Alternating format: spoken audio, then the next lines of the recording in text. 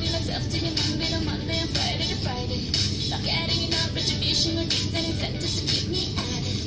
Starting to feel just a little abused like a coffee machine in an